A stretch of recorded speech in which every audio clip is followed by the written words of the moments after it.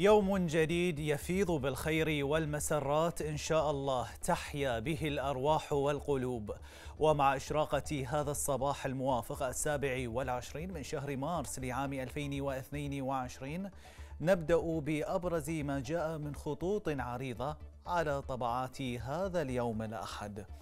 فقد طالعتنا صحيفة الأيام بما يلي. هنأ خالد بن حمد بنجاح بطولة أقوى رجل خليجي. الملك أيده الله.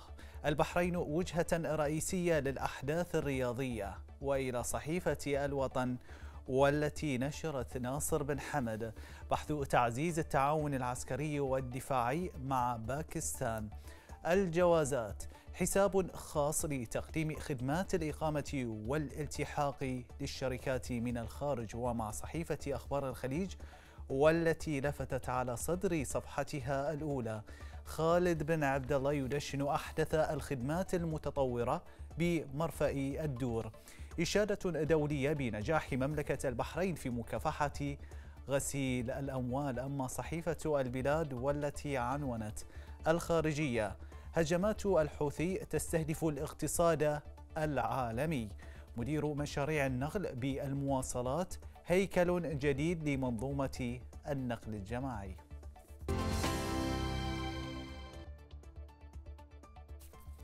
نشر صحيفة الأيام أنه من المؤمل أن يعقد اجتماع مشترك بين الحكومة والنواب عصر اليوم الأحد. وقال مصدر إن الاجتماع من المؤمل أن يحسم النقاط الخلافية بغية الوصول إلى توافقات حول مشروع قانون التقاعد الجديد.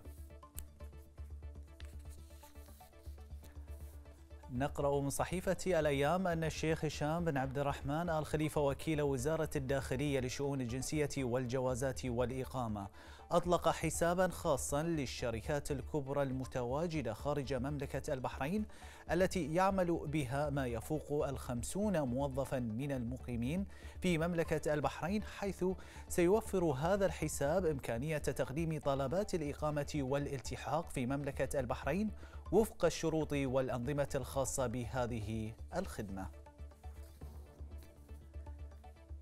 لفت صحيفة الأيام أن المجلس الأعلى للبيئة أعلن أن الأول من شهر إبريل المقبل سيكون موعدا لدخول برنامج التعاون الفني في مجال المطابقة على المنتجات البلاستيكية القابلة للتحلل مع الهيئة السعودية للمواصفات والمقاييس والجودة. حيز التنفيذ.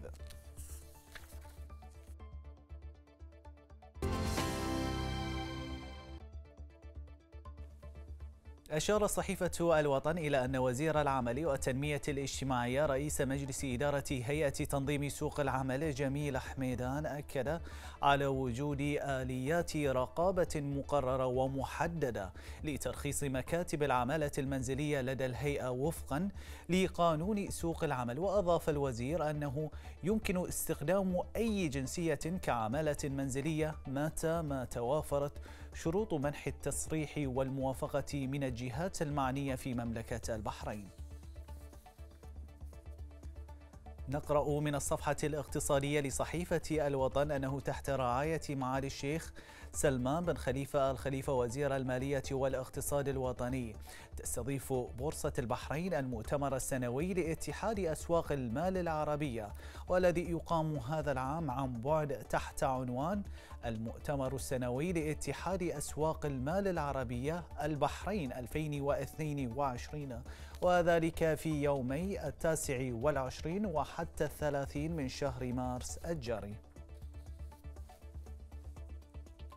كتب الكاتب فيصل الشيخ مقالا في صحيفة الوطن والذي جاء بعنوان ملك البحرين والشباب فإلى هذا المقال.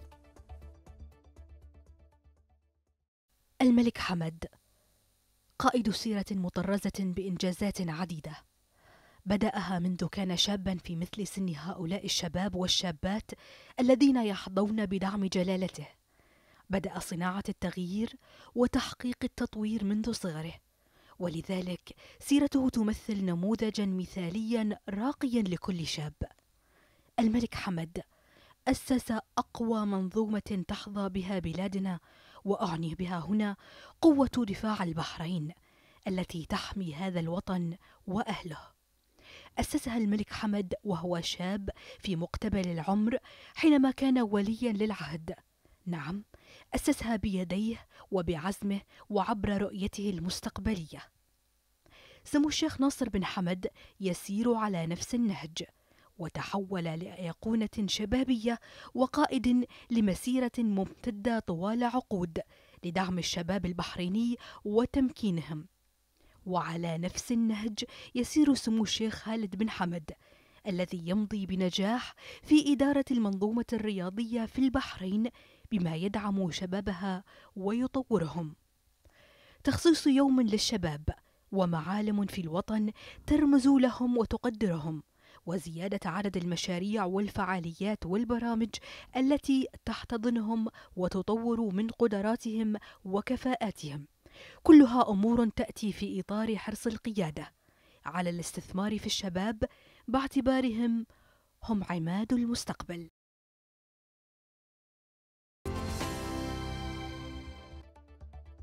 نطالع من صحيفة أخبار الخليج أن معالي الفريق طبيب الشيخ محمد بن عبد الله الخليفة رئيس المجلس الأعلى للصحة أكد أن البرنامج الوطني لتطوير الرعاية الصحية صحتي يسعى لتطبيق برنامج الضمان الصحي والذي سيؤمن خدمات صحية متميزة لجميع المواطنين والمقيمين مشددا بأن هذه الخدمات ستكون بالمجان للمواطنين وستشمل على جميع الخدمات الصحية.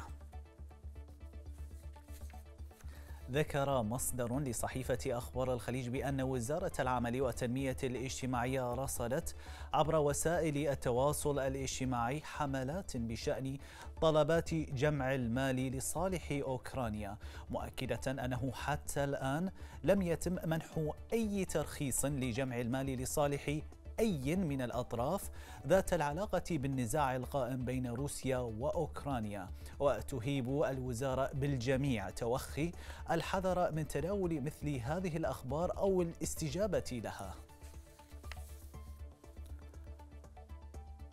نقرأ من صحيفة أخبار الخليج أن وزارة الأشغال وشؤون البلديات والتخطيط العمراني اختتمت سوق المزارعين البحرينيين في نسخته التاسعة بحديقة البديع النباتية يوم أمس السبت وذلك بالشراكة مع المبادرة الوطنية لتنمية القطاع الزراعي. وشهد السوق مشاركة 37 مزارعا وأربعة شركات زراعية وحضورا جماهيريا. تجاوز 60 ألف شخص على مدار الأشهر الثلاثة الماضية.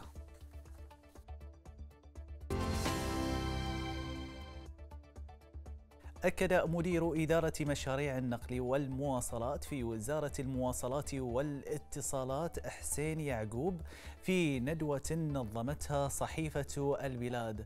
أكد العمل على استراتيجية متكاملة لمخطط هيكلي متكامل متعلق بأنظمة النقل الجماعي. وفيما يتعلق بالشاحنات الثقيلة أوضح يعقوب بأن الوزارة وبالتنسيق مع الجهات الأخرى قامت بإنشاء ساحة لإيواء الشاحنات الثقيلة. لفت صحيفة البلاد أن هالة سليمان مدير المكتب التنفيذي للخطة الوطنية لتعزيز الانتماء الوطني وترسيخ قيم المواطنة بحريننا أكدت خلال استضافتها في برنامج الأمن الإذاعي على ضرورة تعزيز دور المواطن وترسيخ قيم المواطنة في العالم الافتراضي وعبر المنصات الرقمية. وإلى فن الكاريكاتير